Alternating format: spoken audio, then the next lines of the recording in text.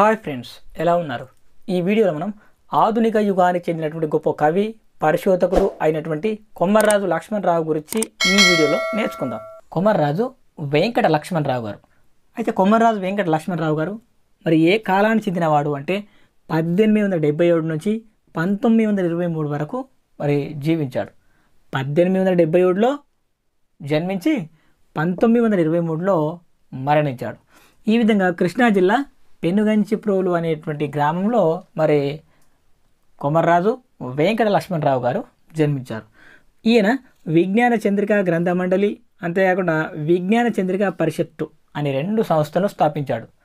ఇక్కడ విజ్ఞాన చంద్రిక గ్రంథ మండలిని పంతొమ్మిది వందల ఆరులో స్థాపించాడు. విజ్ఞాన చంద్రిక పరిషత్తు అనే దాన్ని పంతొమ్మిది వందల పదిలో స్థాపించడం జరిగింది.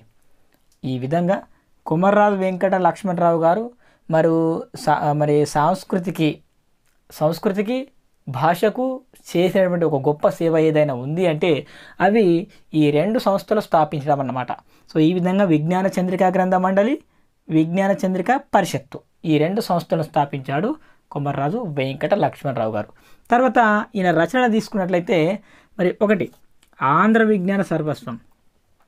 ఆంధ్ర విజ్ఞాన సర్వస్వం అనేటువంటి దాన్ని తెలుగులో మరి రాసి అకారాదిగా దాన్ని రాయాలనుకున్నాడు.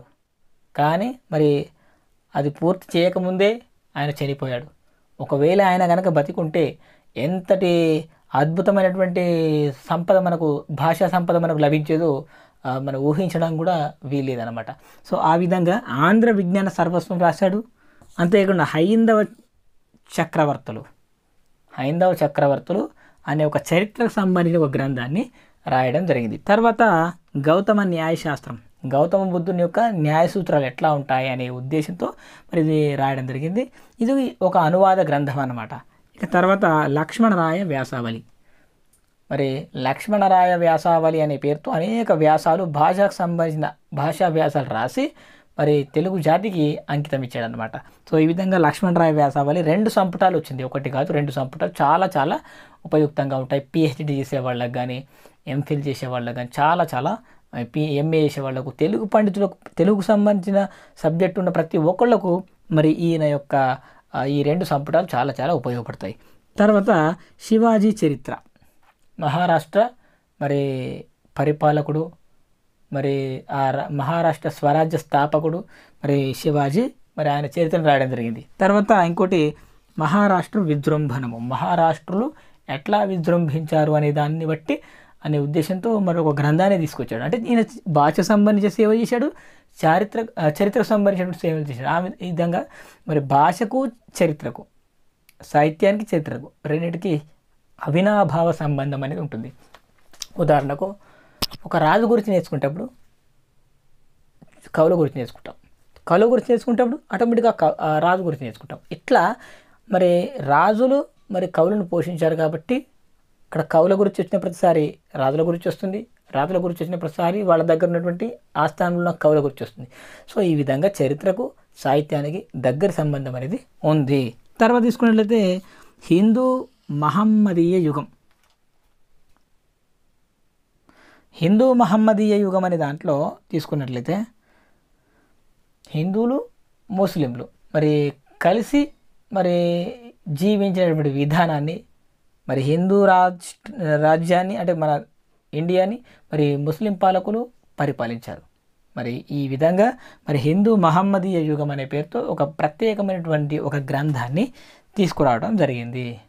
ఇక తర్వాత తీసుకున్నట్లయితే భారతీయ భాషల్లోనే మొట్టమొదటిసారిగా ఇండియాలో ఫస్ట్ టైం విజ్ఞాన సర్వస్వ నిర్మాణం చేసింది కొమర్రాజు లక్ష్మణరావు గారు. చాలా ఇంపార్టెంట్.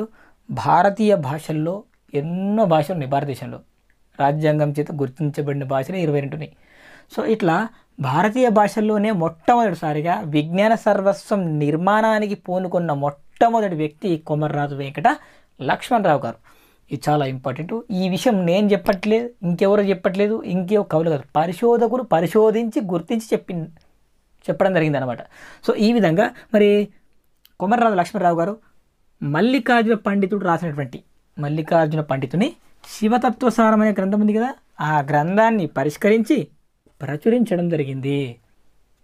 గ్రంథాన్ని పరిష్కరించడమే కాక దాన్ని ప్రచురించడం జరిగింది. శివతత్వ సారం ఉంది కదా మల్లికార్జున పండితుంది మరి ఈ విధంగా మరి కుమారనాథ లక్ష్మణరావు గారే దాన్ని పరిష్కరించి ప్రచురించడం జరిగింది. చాలా ఇంపార్టెంట్. తర్వాత మల్లంపల్లి సోమశేఖర్ శర్మకు మార్గదర్శకుడు. మల్లంపల్లి సో సోమశేఖర్ శర్మ గొప్ప పరిశోధకుడు అని మనకు అందరికీ తెలుసు. అట్లాంటి వాళ్ళకే ఉజ్జవంతి లాంటి వాడు అంటే మార్గదర్శకుడు లాంటి వాడు గురువు లాంటి వాడు ఎవరు అంటే కొమరరాజు వెంకట లక్ష్మణరావు గారు. ఎందుకంటే ఈయన కవి మాత్రమే కాదు ఒక గొప్ప పరిశోధకుడు కదా. మరి ఈయన యొక్క అనుభవాలే మరి ఈయన యొక్క సలహాలు సూచనలే వాళ్ళకు బాగా పనికొచ్చాయన్నమాట. సో అట్లా వీళ్ళు మార్గదర్శకుడిగా పనిచేశారనమాట ఇక తర్వాత కొమరరాజు లక్ష్మీరావు గారు నాగ్పూర్లోని విశ్వవిద్యాలయంలో విద్యాభ్యాసం పూర్తి చేశాడు. నాగ్పూర్లో విద్యాభ్యాసం పూర్తి చేసి మునగాల సంస్థానంలో దివాన్గా పనిచేశాడు. మునగాల సంస్థానం ఉంది కదా ఆ సంస్థానంలో దివాన్గా కూడా కొన్ని రోజులు పనిచేయడం జరిగింది కొమర్రాజు వెంకట లక్ష్మణరావు గారు. ఇది మరి కొమర్రాజు వెంకట లక్ష్మణరావు గారికి సంబంధించిన పూర్తి సమాచారం. సో ఇది ఫ్రెండ్స్ ఇవాటి వీడియో ఈ వీడియో నచ్చితే లైక్ చేయండి షేర్ చేయండి కామెంట్ చేయండి. అలాగే నా ఛానల్ని సబ్స్క్రైబ్ చేసుకోండి థ్యాంక్స్ ఫర్ వాచింగ్ బాయ్